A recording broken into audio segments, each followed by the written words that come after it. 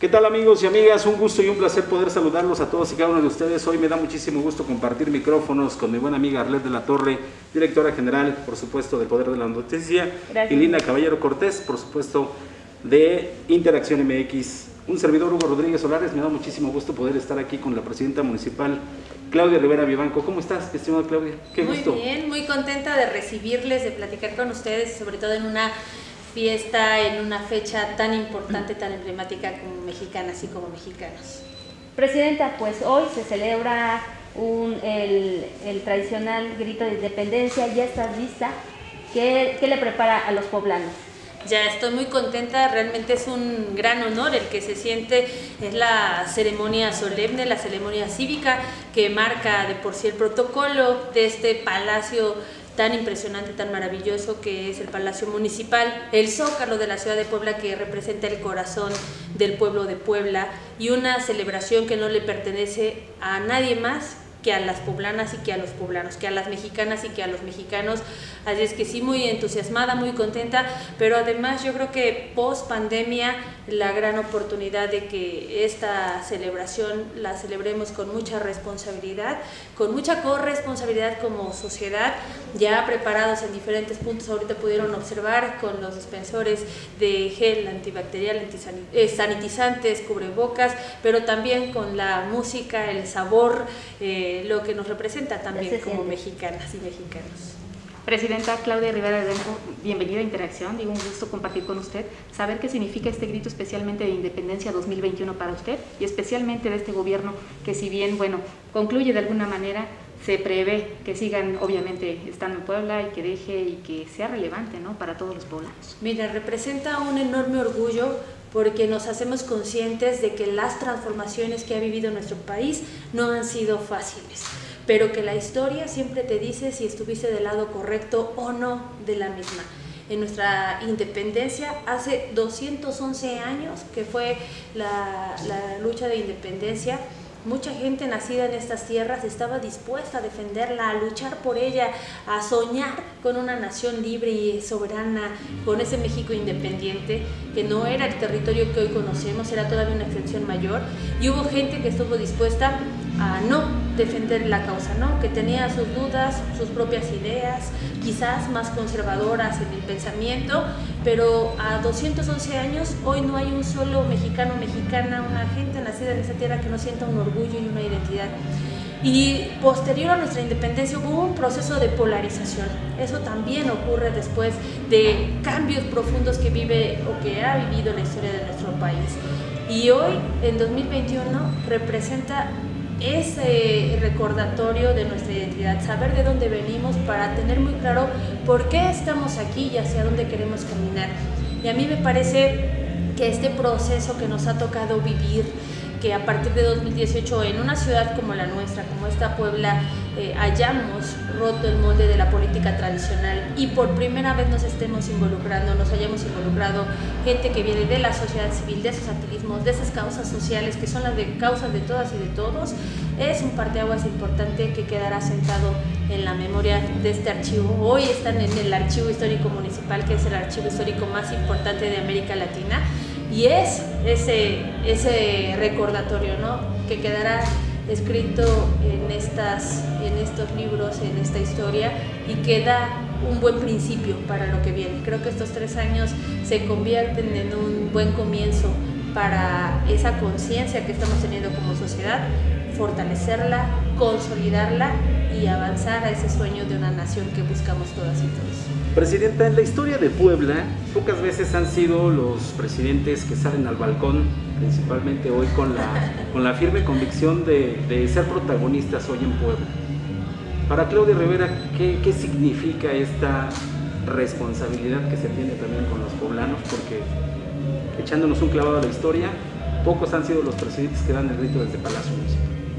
Y ahora habrá también ese recordatorio porque es quien preside, es una mujer eh, en el nombre y quizás en la forma de Claudia, pero que va representado muchas mujeres, que aquellas que también nos dieron patria y libertad y que recuerda también la fortaleza que tenemos los municipios. Los municipios somos el orden de gobierno de mayor cercanía a la gente el valor, la autonomía de los municipios, eso es algo que va a quedar también representado en el grito de esta noche, poder recordar que la fuerza y la posibilidad de un desarrollo de abajo hacia arriba desde lo local con los gobiernos municipales es algo que también está reconfigurándose, cambiando a nivel nacional, porque hay una fortaleza también en la riqueza que tiene cada municipio y bueno, pues será símbolo también de esa autonomía municipal que además vale decirlo, ¿no? Tu autonomía tiene que ir ligada también a tus fortalezas como municipios. Yo me lleno de orgullo y me gusta reiterarlo porque las poblanas y los poblanos debemos saber también que este es el primer año, este 2021 es el primer año que estamos libres de deuda pública, de un peso más que veníamos cargando como sociedad y que da testimonio de que la fórmula que ha aplicado el presidente Andrés Manuel López Obrador de combatir la corrupción, de fortalecer las finanzas, de no generar endeudamiento y de distribuir equitativamente los recursos, es decir, de hacer justicia social, es la fórmula que va a servir para nuestro país, que está sirviendo y que nuestra ciudad, en nuestra casa, ha permitido para sanear sus, sus finanzas, para acabar con esa deuda y que es simbólico también decir que al 200 años de la consumación de la independencia estamos también libres de deuda pública. Presidenta, ¿cómo te sientes en estos momentos? ¿Fortalecida? ¿Satisfecha? ¿Cuál es el panorama que vendrá para Claudia Rivera Sí, me siento muy, bueno, de entrada es un honor, un, eh, orgullo el que sientes aquí adentro cuando reflexionas lo que ha significado todo este camino y que la ciudadanía haya puesto la confianza en la propia sociedad, ¿no? en ese cambio de paradigmas me siento fuerte, he aprendido muchísimas cosas, ¿no? Si bien el venir de las resistencias, de las luchas sociales te hace fuerte, te enseña también una manera a defender los ideales, las convicciones, a que cada paso que te toca dar en el camino tiene que ser con total integridad. No está permitido a un luchador, a una luchadora social dejar trozos de dignidad en el camino. Y eso es algo que también se logra reflejar hacia afuera y que eh, me permite sentirme satisfecha porque ha sido así mi conducción. Yo siempre he mencionado que en el ejercicio de gobierno pueden cometerse errores técnicos y eso se tienen que reconocer. Lo que no podemos permitirnos, lo que yo misma no podría permitirme es un error ético. Eso creo que hace la diferencia y eso también es un nuevo modelo de cómo hacer política, de cómo hacer gobierno y de cómo hacerlo siempre de la mano de la ciudadanía. Así es que además de estos elementos que, les comento, me siento yo muy agradecida por el conocimiento, por la enseñanza y por supuesto eso me hace más responsable para seguir trabajando por mi ciudad y por mi país, así es que ahí lo voy a seguir haciendo, en diferentes trincheras, pero con la convicción igual de fuerte. Presidenta, preguntarle en esta parte de la historia, ¿qué deja Claudia Rivera Vivanco, la presidenta, a la historia de Puebla? Y además, ¿qué se lleva la mujer como parte de la sociedad poblana? Bueno, de entrada, el hecho de que me haya tocado ser la primera presidenta poblana en ocupar este espacio, la que lleva la votación más alta en toda la historia de nuestra ciudad, me tocó impulsar el primer gabinete paritario y eso es reconocer que las mujeres no acabábamos de llegar, que siempre habíamos estado ahí haciendo, escribiendo nuestra historia, transformando la vida de nuestro país, pero sin la oportunidad de eh, ser reconocidas. Hoy se generaron esas condiciones, generamos también esos cuadros sociales, ciudadanos y de servidoras y de servidores públicos. Y creo que eso es algo también muy importante, la propia búsqueda de la igualdad y la construcción de la paz a través de haber roto también ese modelo de cómo se manejaba o se conducía la seguridad pública de una ciudad, de un estado. Hoy dejamos un parteaguas también muy claro. ¿Por qué sí darle la confianza a las mujeres para empezar a tejer, institucionalizar y dignificar el servicio público al interior? Y creo que bueno, el reconocimiento de los indicadores mismos en materia de seguridad se vuelve algo relevante.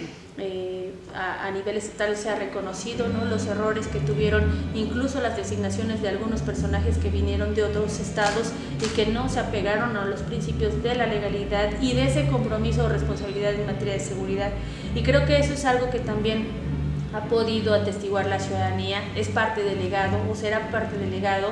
El que hayamos sido la primera administración en acabar con la deuda pública será parte del legado que quedará en nuestra historia, porque eso sí, ninguno anterior lo había logrado de ninguna corriente política, por, citarlo o por englobarlo en, en, alguno de estos marcos.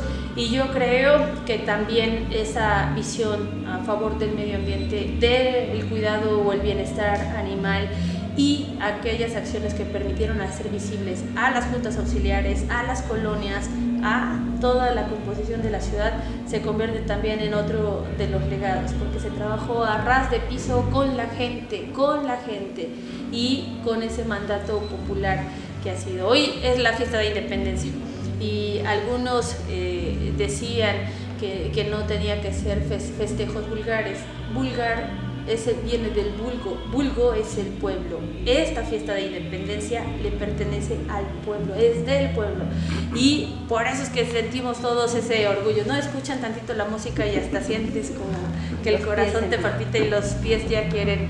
Eso es nuestra identidad como mexicanas y mexicanos. Presidenta, hoy te notamos muy efusiva, muy contenta, muy este, con ganas de, como tú bien lo comentas, ya de festejar esta, esta fiesta de independencia.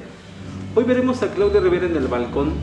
Eh, ¿Tendrá alguna sorpresa que incluya dentro del grito de algún personaje, algo emblemático que de repente para Claudia diga, bueno, pues hoy aparte de, de Josefa, aparte de todos aquellos que nos dieron parte, ¿habrá algo más que eso, este, Presidenta? ¿Alguna sorpresa? Bueno, no será sorpresivo mm. porque además ya lo conocen, es parte de hacer visible que la lucha, todas las luchas como nuestra independencia, no solamente la hicieron los hombres que nos dieron patria, sino también las mujeres. Poderlo enfatizar en el grito, en esa plaza que es nuestro zócalo y que, que es un, un festejo de las poblanas y los poblanos va a ser creo que algo importante. Hoy tenemos ya eh, evidenciado en la fuerza del municipio, ¿no? Yo creo que esos van a ser los elementos, por eso digo que ya no son sorpresivos, porque ha sido, aparte también en lo que yo me he enfocado mucho en resaltar, y pues que lo verán siempre en, ese, en esa dinámica, con emoción, con entusiasmo, con responsabilidad, con orgullo y de la mano de la gente. Ahí me van a ver en el festejo del pueblo, del del pueblo de México con el pueblo, pero además respetando o cumpliendo esa corresponsabilidad de respetar las medidas sanitarias. Presidenta, el mensaje para los poblanos y esta noche, eh, ¿qué, se, ¿qué cenará la presidenta? ¿Qué le gusta más? ¿Tacos, este, chalupas. o pelonas? Pozole. Pozole. El pozole me gusta muchísimo. Yo creo que eso, eso voy a comer yo. Eh, habrá eh, eh pozole, chanclas, por cierto, mole de panza, que también es muy rico.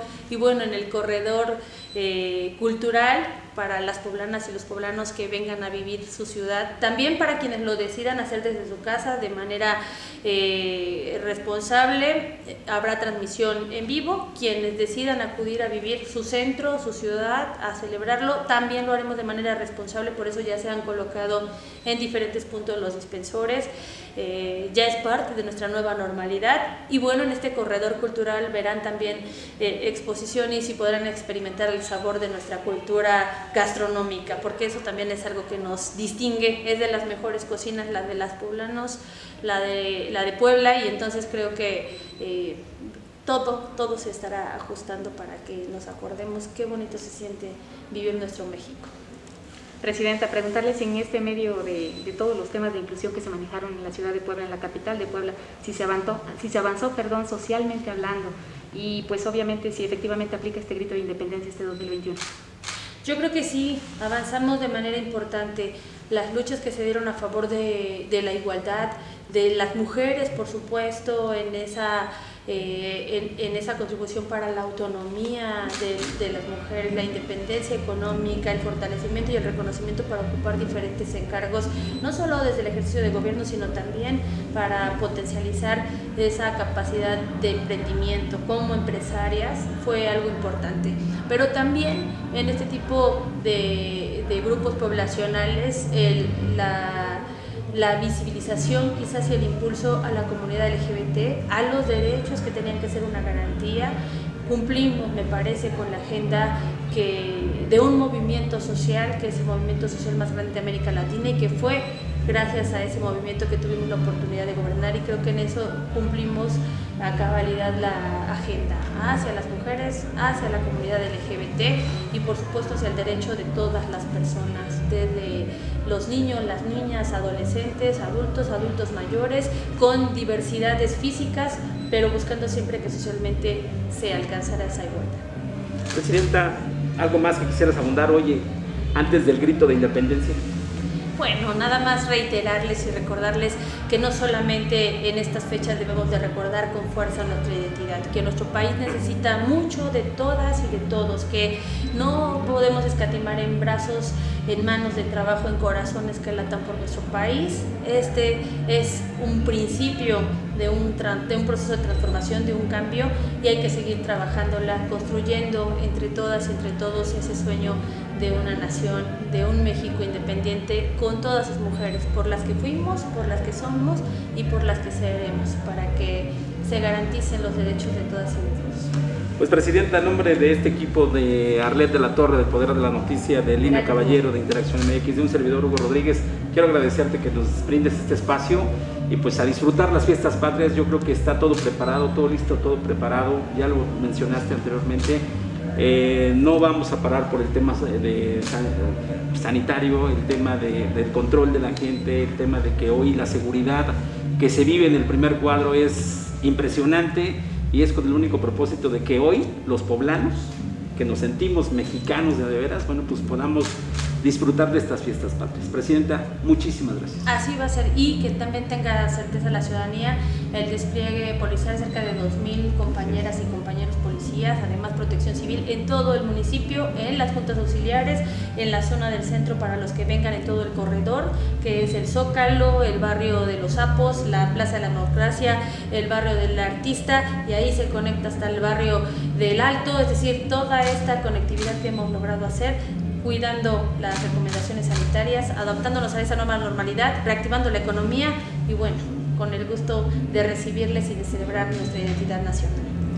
Gracias, Presidenta. Gracias, gracias.